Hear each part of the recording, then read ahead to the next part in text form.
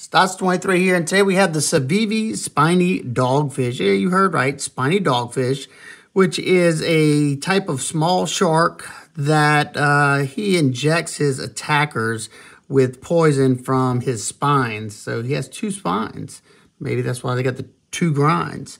I don't know, but this is a Michael Gavko design, Michael Gavick design uh, from Gavko Knives. And the only two knives that I have of his is the, the new High Fin, which is also named after a shark, and the Drop.com Nurse, which of course is also named after a shark. He loves sharks, and um, he's he's always he's always got some very interesting takes on designs, and I, have been following him from the very beginning, and I love his work.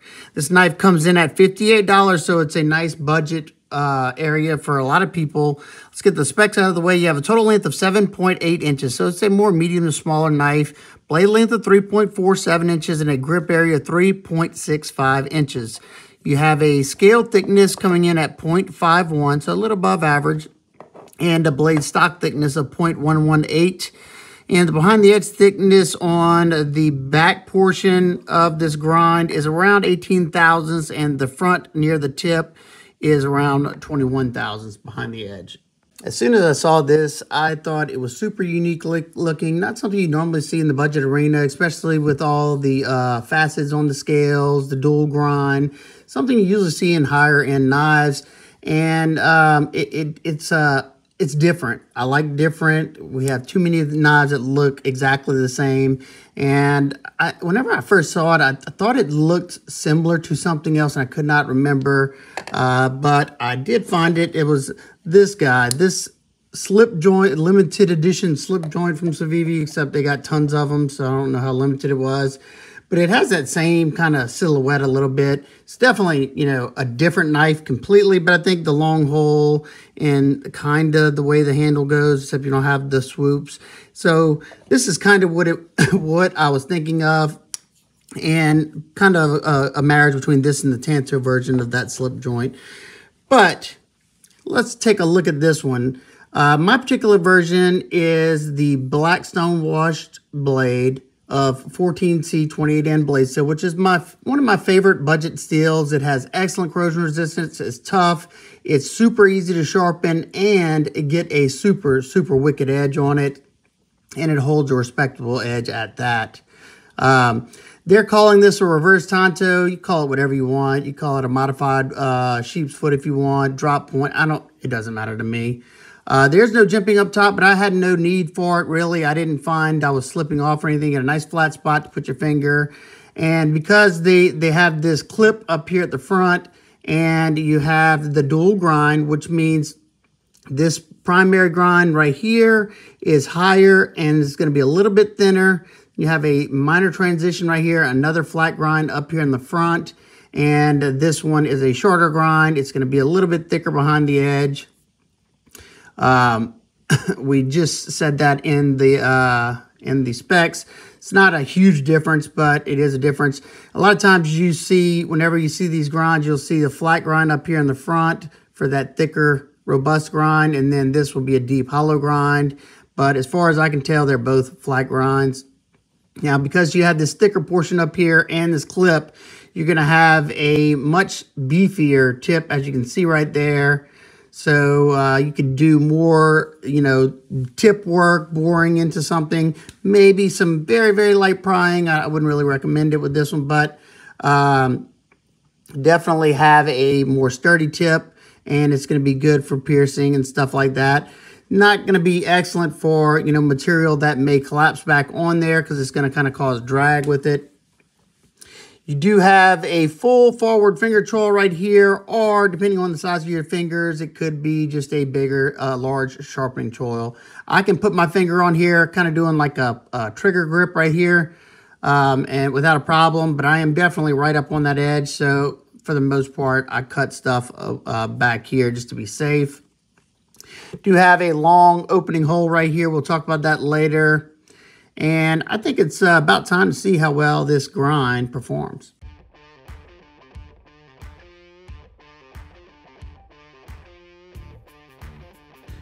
As I got started, I noticed that the knife came with a decent edge. It it felt a little slick, um, maybe overpolished. We'll have to see later on. But it's slicing okay. I'm not the biggest fan of the dual grinds unless uh, it's on like a fixed blade or something and done really, really well with like maybe a hollow grind, then a flat in the front. With a smaller folder, doesn't make as much sense because I'm not going to be doing, you know, super heavy duty stuff. Now, we're testing the ergos in this piece of birch right here, and right away, notice that very narrow, slim handle scales was very hard to get a solid grip on. It kept wanting to spin in my hands in the hammer grip, and um, when I when I went to a saber grip, I can get a lot more control, and it was easier to hold on to, but it was still a little bit difficult. I mean, not probably the knife you could be grabbing, but it does the job, and um, thought it did pretty darn good. Now we move to the half inch sisal rope, and right at the first cut, I could tell that it definitely lacked any toothiness to that edge or any kind of aggression because it was skating off for the most part. Um, you can see I'm trying to use the portion of the grind where it's a little bit thinner, kind of in that transition point. I uh, found it was a little bit sharper back there. Um, but I'm definitely able to get the job done. We get through 30 cuts before we run out of uh, the rope. Not bad, uh, but Civivis always do way better after the first sharpening. So uh, if you're not satisfied at first, give it a good sharpening and I promise you'll be surprised by how well it does after that.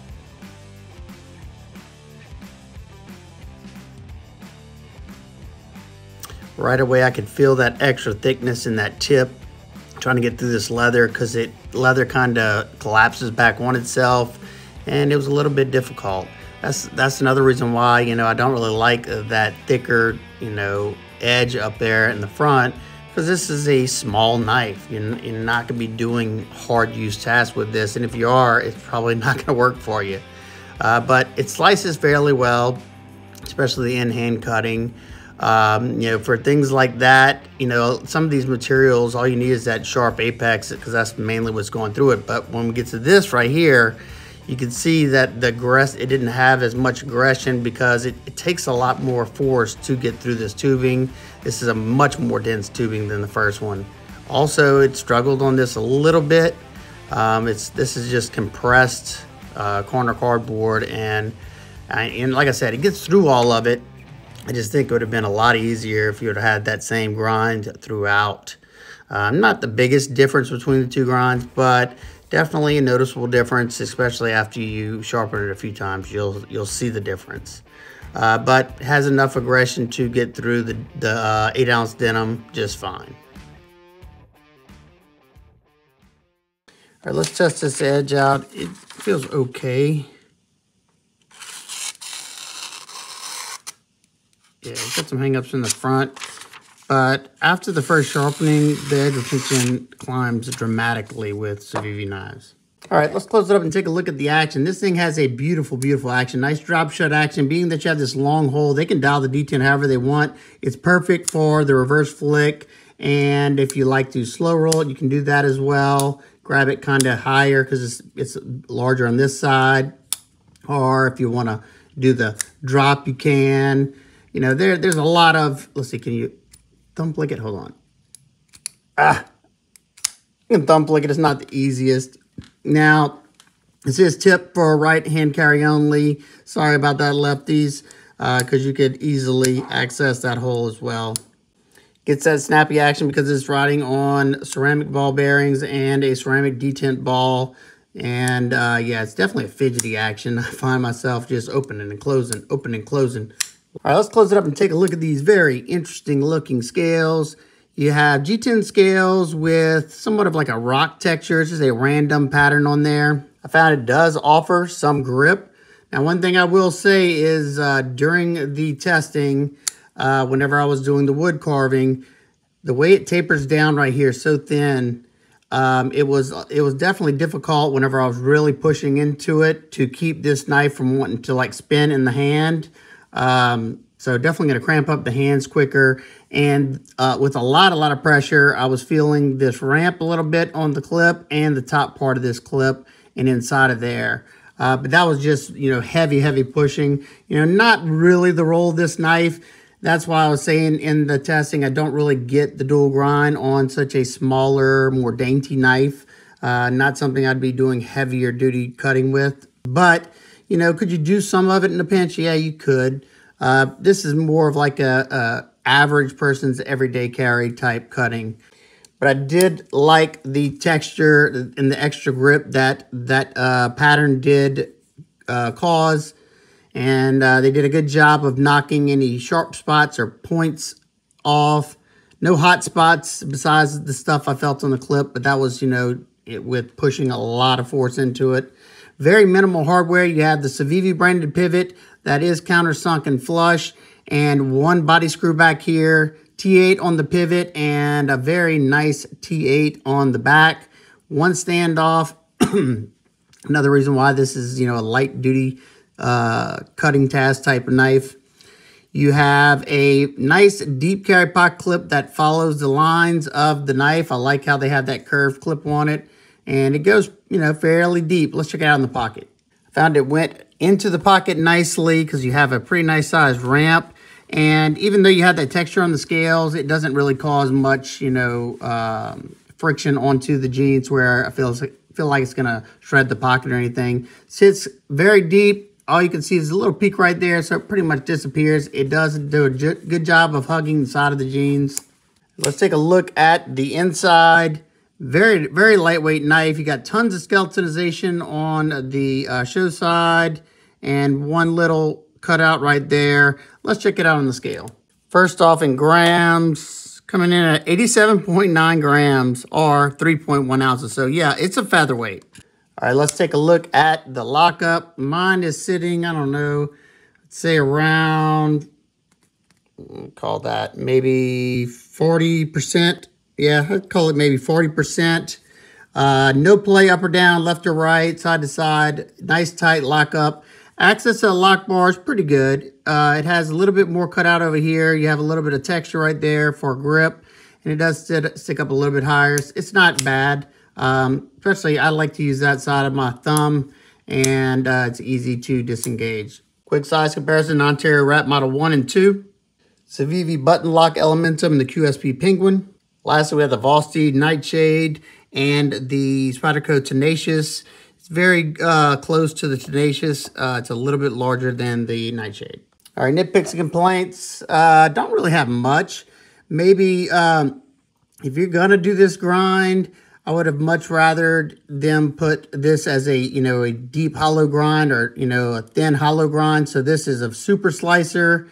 And then you could have this as your, you know, thicker, more rugged grind. But I, I don't really think it's you know, the best uh, best grind for such a smaller knife.